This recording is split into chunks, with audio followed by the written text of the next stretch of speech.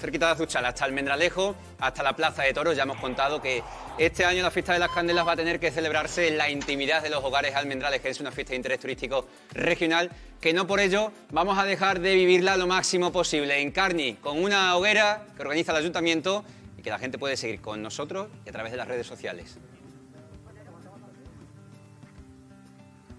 Pues ya lo estamos viendo, compañeros. Antonio, el encargado de prender esta única hoguera de este año en las candelas aquí en Almendralejo, pues va a prender ahora mismo esta pantaruja tan especial.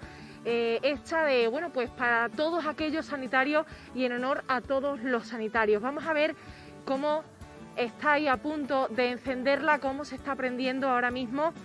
Vamos a intentar hablar con él. No sé si en estos momentos se puede, porque como veis estamos rodeados de medios de comunicación. es un evento a puerta cerrada, no puede entrar nadie por protocolo COVID y bueno, pues eh, como ya vemos, vamos a hablar mientras tanto con el, con el que bueno, pues ha creado esta pantaruja, Juan, Juanma, muy buenas, muy buenas tardes. Eh, se va a quemar. Sí, y ese es el objetivo, ¿verdad? El objetivo, quemar lo malo que tenemos por culpa de, de la pandemia y, mm, eliminar de nosotros pues todo lo malo que ha pasado durante el 2020 y que este 21 lo, lo, dejemos para el recuerdo. Una pantaruja muy representativa. Ahí vemos, cuéntanos un poco qué es lo que te has inspirado. Pues me he inspirado en que, por desgracia, el COVID se está llevando y está matando a mucha gente. Entonces, pues por eso lo he querido reflejar al COVID agarrado de la mano y luego pues el, tema de la nuestros nuestros eh, de todos los días no el gel hidroalcohólico los guantes. exactamente lo que no queremos ya que estamos hasta las narices de tenerlo y de usarlo. Entonces pues por eso lo quiero quitar del medio y a ver si acaso somos capaces de eliminar estas cosas malas que están pasando. Una hoguera también dedicada para todos esos sanitarios que están dando la vida por nosotros, ¿verdad? Claro, pues que se lo merecen porque ellos son los que están en primera... Mm, primera línea. primera línea de, batalla. Y claro, aunque todos los estamos sufriendo, pero el suyo es peor porque aparte del sufrimiento que, tenemos toda la gente, tienen el psicológico de soportar todas esas cosas. Entonces, pues... Un trabajo que no es cuece que se quema, ¿verdad? Que se queme, ¿verdad? No, para nada, para nada. Para, eso está hecho. Para eso está hecho y, a ver si acaso es verdad que, quemando las cosas malas, como, como dicen aquí, que quemando las cosas malas en las candelas se van.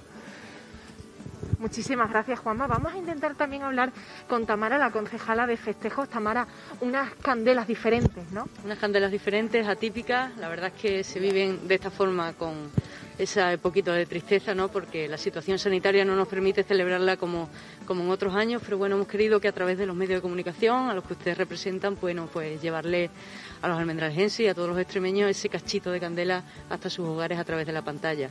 Así que bueno. Estamos oyendo repicar ahora mismo esas campanas de la Iglesia de la Purificación, una, un momento representativo, ¿no? En el que ahora mismo en Almendralejo pues se prenderían todas las, todas las candelas de todas las calles. Exactamente, esas campanas siempre nos indican el comienzo de todas las candelas y en ese momento prenden todas las candelas de Almendralejo, que es el pueblo entero, lleno de, fuego, lleno de esas hogueras y con todos los vecinos en la calle compartiendo pues esa convivencia con los colegios, las asociaciones, los establecimientos de hostelería y bueno, como digo, compartiendo entre todos esa gastronomía, esas pantarujas y esta tradición que son las candelas. Vamos a ver si podemos hablar, compañeros, con Antonio, el encargado de prender esta candela. ¿Por qué? Vamos a preguntárselo a él mismo. Antonio, muy buenas tardes y disculpe que te moleste en tu... No, ninguna molestia. Cuéntame. ¿Usted es sanitario? Yo soy ATS, soy enfermero. ¿Por qué te han mencionado a ti como el que tiene que prender este año la candela? Bueno, pues por... Afortunado, ¿no? Sí, bueno, para mí es un honor. Estoy, vamos, abrumado, en cierto modo. Nada, bueno, eh, soy muy conocido, llevo muchos años trabajando en Mendalejo, estoy involucrado en muchos temas, esto ya caliente, en muchos temas, voy, voy, voy, en muchos temas asociativos. Soy, de hecho, soy el delegado de la Hermandad de Donantes de Sangre, desde hace ya unos bastantes años. Y nada más, han tenido bien acordarse de mí y aquí estoy. ¿Qué se siente al quemar estas pantarujas tan representativas, Cosa, eh, pero representativas, representativas. Esto siempre se ha hecho, por lo que yo conozco, para quemar los malos espíritus. Y qué mejor ocasión que esta para quemar estos malos espíritus. Tú como sanitario pues los conoces bien, ¿no? Bueno, sí, en cierto modo. Pero bueno, lo importante es que, que se queme todo esto.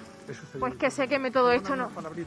Mi agradecimiento al gremio sanitario y al gremio médico. ¿eh? Por supuesto que sí. Por supuesto que sí, que no se nos olvide. Y como he dicho anteriormente, y recuerdo, un recuerdo muy emotivo para los fallecidos. Pues ya lo han oído, compañeros, más claro el agua, esta candela ya empieza a prender, ya se empiezan a quemar todos esos malos augurios, este gel hidroalcohólico, este virus, estas mascarillas que tanto nos estamos poniendo este año y ojalá, ojalá este año 2021 podamos vivir un poquito mejor y sin todas estas, sin todos este bicho. Gracias, Encarne, y nos quedamos con esa imagen y sobre todo con el sentimiento que impregna esta fiesta de las candelas y que es tan importante para todos los vecinos de Almendralejo. Yo la he vivido en algunas ocasiones y desde luego que merece mucho la pena cuidarla y sentirla, aunque sea en estos momentos en los que no podemos estar cerca unos